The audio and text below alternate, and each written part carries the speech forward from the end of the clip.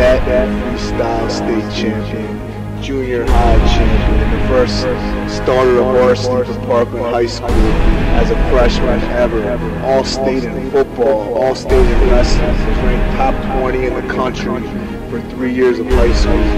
I was a junior college All-American wrestler. I was a runner-up state Golden Glove champ, uh, XFP champ, multiple grudge matches, four-second knockout, the Battle of Bethlehem, War 205 pound champ, seven, seven-time fight of the night, all league, all district, all state, Valley Forge, thousand-yard rusher, prep school, top hunter recruit, high school top hunter recruit. But the thing is, people only notice the leopard speedo.